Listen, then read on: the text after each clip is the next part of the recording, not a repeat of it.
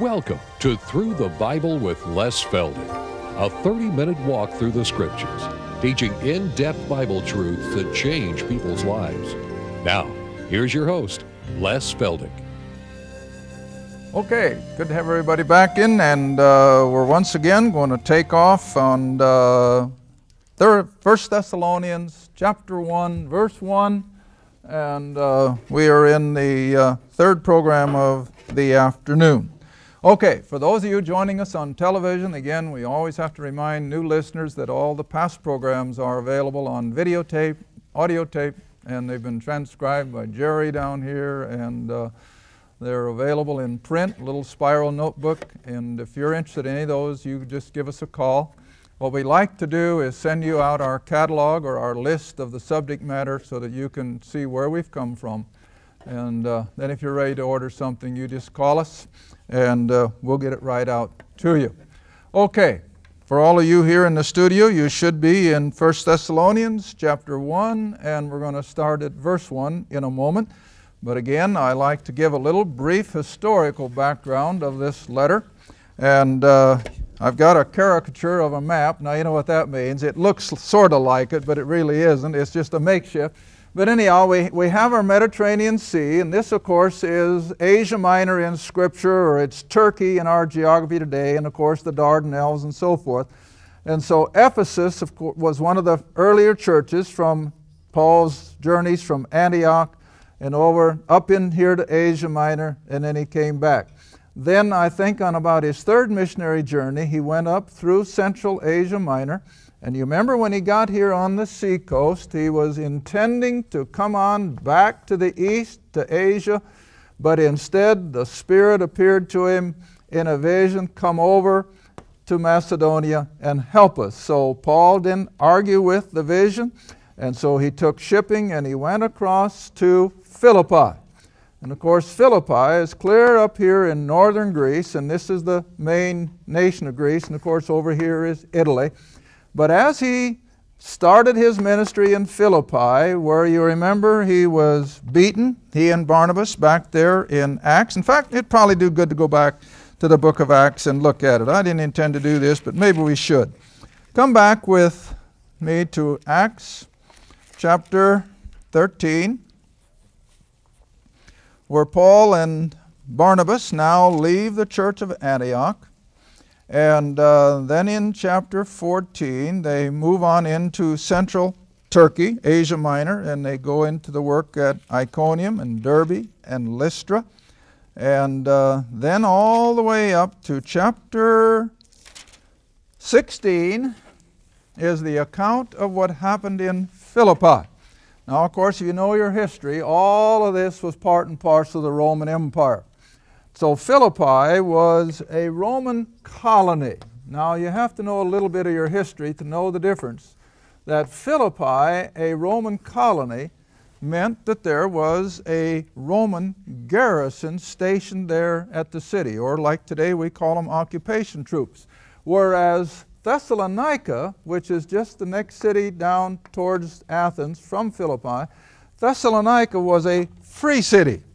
They didn't have Roman troops roaming up and down the street. They, they just had complete freedom, probably because they helped out a couple of the Roman generals in a battle sometime earlier. So, anyway, you have these different Roman rules, but in Philippi, where Paul began his ministry in Europe, you know the account how they were beaten and flogged and thrown into the dungeon. You all know that one. And out of the jail experience, the, the earthquake uh, set them free, and we had the salvation then of the Philippian jailer, who, if I'd had more time in the last half hour, I would have used as the counter example of Acts 2.38. When Acts 2.38 said, What must we do to be saved? The Philippian jailer, who is now a Gentile, says, What must I do to be saved. And Paul does not tell him, repent and be baptized. He tells him to simply believe. Well, anyway, after having then been beaten in Philippi, he makes his way on down to the next sizable city, which is Thessalonica. And now we pick that up then in chapter 17. Acts chapter 17. And you can start at verse 1. Acts 17, verse 1. Now, when they, that is, Paul and uh, Barnabas and whoever was with him, and so when they had passed through Amphipolis and Apollonia, they came to Thessalonica, where there was a synagogue of the Jews. Now, there wasn't in Philippi, if you remember. And Paul, as his manner was, went in unto them, that is, to these Jews meeting in the synagogue, went in unto them, and three Sabbaths, so the very most you can get out of three Sabbaths would be how long? Four weeks, assuming that he didn't stay for the next Sabbath. So the length of time that he ministered in this city of Thessalonica was at the max four weeks. Some Bible students will say three weeks because of the three Sabbaths. But you see, there could be another six days extended and still be just uh, three Sabbaths. But whatever. It was no more, evidently, than four weeks in this pagan, pagan Greek city. All right? Verse 3 opening and alleging that Christ must needs have suffered, risen from the dead, and that this Jesus, whom I preach unto you, is Christ or Messiah. Now, verse 4. This was the reaction, as it was almost everywhere. Some of them believed and consorted or took up with Paul and Silas. And of the devout Greeks, I said Barnabas, it should have been Silas, and of the devout Greeks a great multitude. Now you see, the Gentiles are more and more latching on to this gospel of grace to the consternation, of course, of the Jew. Now, verse 5 But the Jews who believed not. Now, there were some that did, but the majority did not. And so, verse 5 the Jews who believed not moved with envy. Now, you don't always have to stop. What were they envious of? Hey, they didn't want these pagan Gentiles coming in and having anything to do with their God. Because I told one of my classes during the week, this past week, you ought to take your concordance sometime and just look up how many times up through the scriptures you have the three names right in order Abraham, Isaac, and Jacob. Sometimes it's in a matter of three or four verses. And the God of our fathers, the God of Abraham, Isaac, and Jacob. Peter in Acts chapter 3 will repeat it. The God of our fathers, Abraham, Isaac, and Jacob. And so you see, they, they felt that they were so inclusive of their God that those Gentiles couldn't have anything to do with Him. And when they saw Gentiles responding to Paul and Silas preaching, they were furious with envy. They, those Gentiles had no business worshiping and believing in the God of Abraham, Isaac, and Jacob. See? And so, verse 5 again, they were moved with envy, and they took unto themselves lewd, in other words, unscrupulous fellows of the baser sort, and gathered a company and set all the city on an uproar and assaulted the house of Jason and sought to bring them out to the people. When they found them not, in other words, Paul and Silas had already left and escaped and were headed on down to Athens. So when these Thessalonians could not find them, they drew Jason and certain brethren unto the rulers of the city, crying, These that have turned the world upside down. Isn't that amazing? Isn't that amazing? that here into this pagan world comes one man with, of course, two or three of his friends. But by and large, it was the work of the Apostle Paul that caused these pagans to think that they were literally turning their religious world upside down, or like most people say, right side up. But oh, what, what an impact this one man had on the pagan world. And so they cried, They have turned the world upside down, and now they've come hither also. Verse 7 Whom Jason hath received, and these all do contrary the decrees of Caesar. saying that there is another king, one Jesus. In other words, that tells us that Paul was already proclaiming the coming king and his kingdom. Verse 8 And they troubled the people and the rulers of the city when they heard these things, and when they had taken security of Jason and of the other, they let them go. And immediately they sent Paul and Silas away by night, and they went on to Berea, which of course is the next little city south of Thessalonica. And they spent some time at Berea, and then Paul comes down to Athens alone and then the others, Silas and Timothy and so forth, catch up with him, and then they go on down to Corinth. Now, by the time Paul gets to Corinth, realizing that this little group of believers up here in Thessalonica had only heard him teach four weeks, can't you imagine how his heart must have burned? How are they faring? Four weeks isn't very long. My, I've had to teach people three years before they see it but four weeks. And he had a sizable group of these pagans who had become believers of his gospel. Almost unbelievable, isn't it? All right, now that's the backdrop then for these two little letters to the Thessalonians. The first that Paul writes, even though they're at the end of his, uh, his le- uh, letters for the most part, yet, uh, far as everything can tell, they were the earliest of his writings and they were written within a matter of weeks after having escaped Thessalonica, spent some time in Berea, spent a few days in Athens, and evidently wrote these letters from the city of Corinth, and then uh, Timothy or whoever it was took it back to the Thessalonian church for their admonition and for their spiritual food. All right, now then let's take it verse by verse for a little bit. Thessalonians 1, verse 1.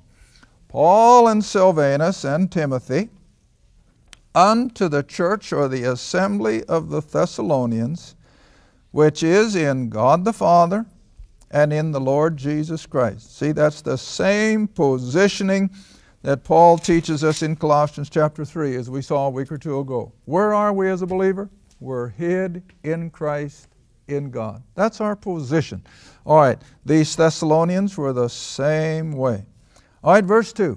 He says, We give thanks to God always for you, making mention of you in our prayers, and remembering without ceasing your work of faith, your labor of love, and your patience of hope. Now, whenever the Scripture repeats something in a rather short period of time, what's my word? Emphasis. All right, come right on down to verse 9, and what a tremendous verse. And he writes to these ex pagans who he had only spent four weeks among. And he says, For they themselves show of us what manner of entering in we had unto you. In other words, your testimony shows how God blessed our ministry among you and what an entering in we had unto you, and how you turned to God from idols. Now think about that a minute.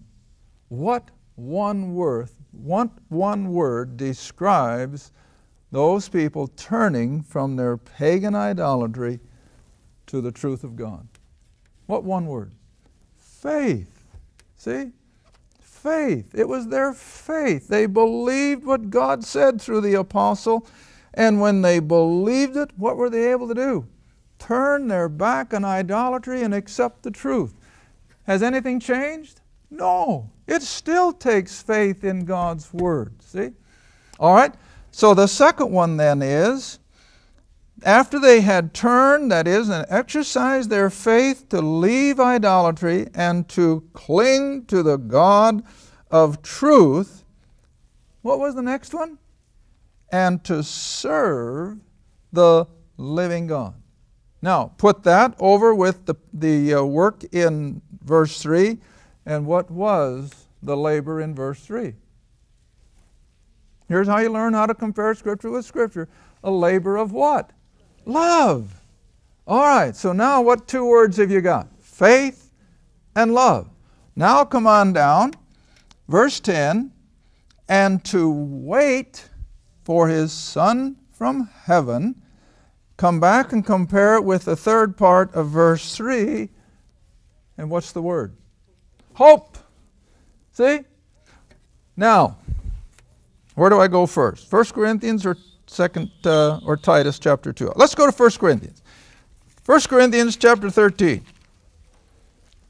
And you remember way back, boy, it's a long time ago, when I was teaching 1 Corinthians 13 and we came to the last verse. Some of you should know it from memory. What three things are going to abide? There you got it faith, hope, and charity, or faith, hope, and love. And if you'll remember, many of you were sitting in this very same uh, studio audience when I taught this chapter. And I said, Now, if you will be aware throughout Paul's writings, these three words just keep popping up like cream on a bottle of unpasteurized milk. You know how that worked, don't you? Huh? Some of you older ones, you remember how the cream just came to the top? Well, that's what happens to these three words faith, hope, and love. They just keep coming up and coming up. All right, now come back then to Thessalonians and see if that isn't exactly what he's saying. Verse 3 Remembering without ceasing your work of faith. The other chapter, or the other verse in verse 9 says, You turn to God from idols. But what caused them to turn? Their faith. Back to chapter 3, what was the next thing? Their labor of what? Love. Chapter 9, to serve the living God. Now, all you have to do is just close your eyes and think. What is the predominant reason for serving God right now, today, in the year 2000? Your love. Your love, first for Him and for lost humanity. And now I'm going to start adding untaught Christians. Oh, it's pitiful. And it's getting worse by the day. How ignorant. Now, you remember, I always have to qualify. When I use the word ignorant, I'm not referring to a lack of brain cells. Ignorance is simply a lack of teaching. You can have somebody in church all their life, and they're as ignorant as ignorant can be. Why? Because they haven't taught them anything. You ought to read our mail ought to read our mail. And this is exactly what we hear. I don't care whether they're 90 years old or they're 50, that's almost always the same. I've been in church all my life and I never learned any of this before. Well, now somebody is going to be held responsible. Somebody has not been fulfilling their obligations. But you see, Paul had so completely instructed these ex pagans of Thessalonica that they did all three. They practiced their faith by turning from idols. They immediately went into a labor of love. And then, verse 3 again, what were they doing? They were in the patience of hope. And then you come over to verse 9 for the comparison, or verse 10 rather, and to wait. Now you see they're practicing all three words faith, love, and hope. All right, now let me show you where there's another example where Paul uses those same three. Come over to Titus. Titus. Titus chapter 2.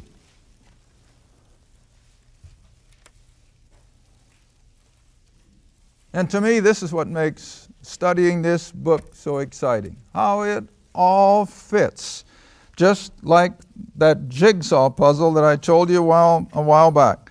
That when everything fits, you know you're on the right track.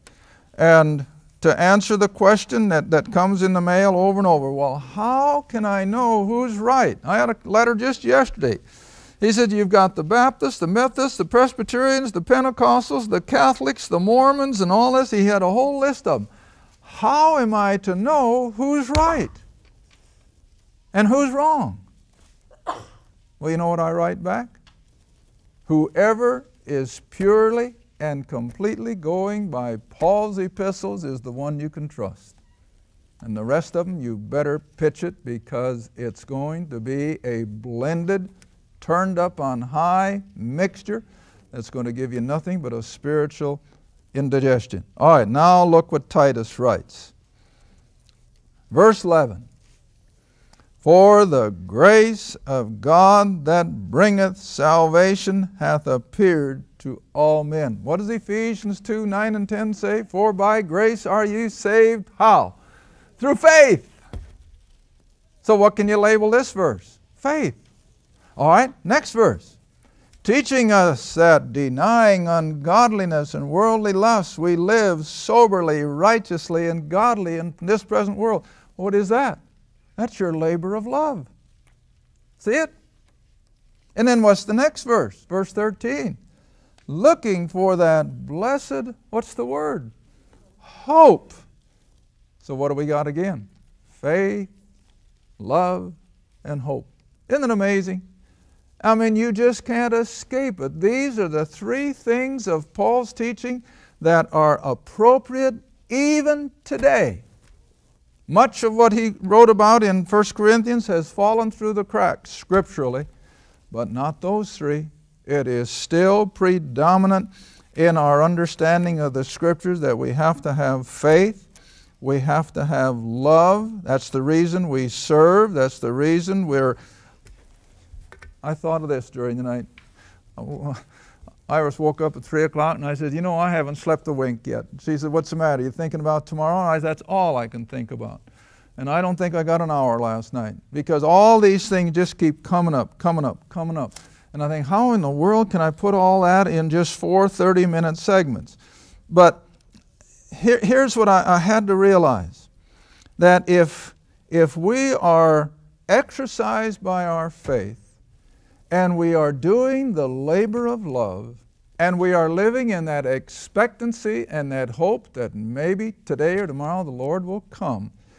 Do I have to go down to the bookstore? Now, I don't say this with any malice toward the authors of books or anything like that. You know, God knows I don't care if they make a million selling their books. But really, if you have all of this going for you between these two covers, do you have to read book after book after book? I don't think so. I don't need a book on how to treat my wife. Ask her. I don't need a book on how to treat my kids. Ask them. I'm not worried about what they'll tell anybody. And I've never had to read a book on how to do this and how to do that.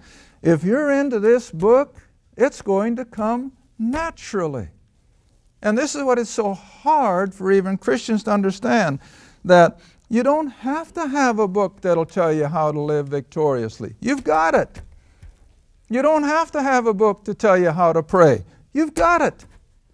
You don't have to have a book to tell you how to study the Bible. You've got it. It explains itself. The Holy Spirit leads us into all truth, see?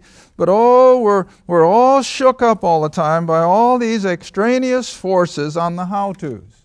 Now, like I say, I'm not condemning them, but all I'm saying is it's really not necessary if you can once get a handle on the Word of God. All right, now let's move on. We're back in chapter 1, and uh, oh my goodness, I think we can come on down to verse 4 now where he says, Now don't lose sight of the kind of people he's writing to. He's only had four weeks with them. They were steeped in pagan idolatry. And as I have taught from this point for years, when you had paganism, what was the moral climate? It was rotten. It was rotten. They had almost no what we would call biblical morality. And these were no different. And so he had brought them by simply proclaiming the gospel, the good news, out of that immoral pagan background. And now, verse 4, he says, knowing. See? He didn't have to wonder. He knew these Thessalonians were believers. Knowing, brethren, beloved, your election of God. Now, don't let that word throw a curve at you. That just simply means that you're cemented in. You are in the body. You have been placed in that place of adoption that he taught back in Ephesians. which was reserved for every believer. Now, verse 5. for our gospel, Paul says, see? Our gospel, the one that he and Silas and Barnabas had now been proclaiming to the Gentile world. Our gospel, now I got to also make another comment. You know, a lot of times Paul uses the plural pronoun we, us, and our. But you know what he's really meaning? Himself. I just read that again the other night that this was typical of the writers of this day and time.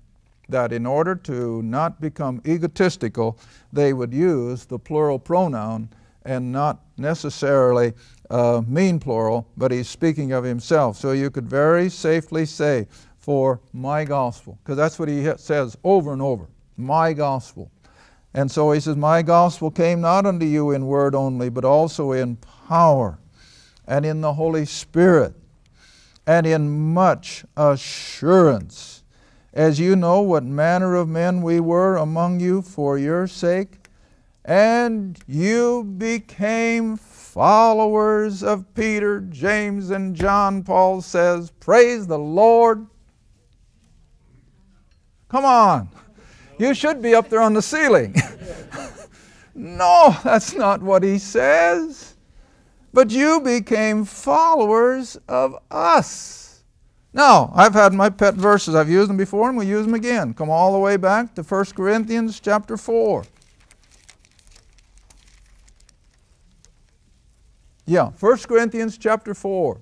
Only got one minute, so we'll only have time to look at a couple of them, but they say it all.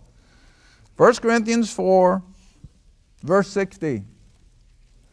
1 Corinthians 4, verse 16. Yeah, we got to be sure and get this one on the screen.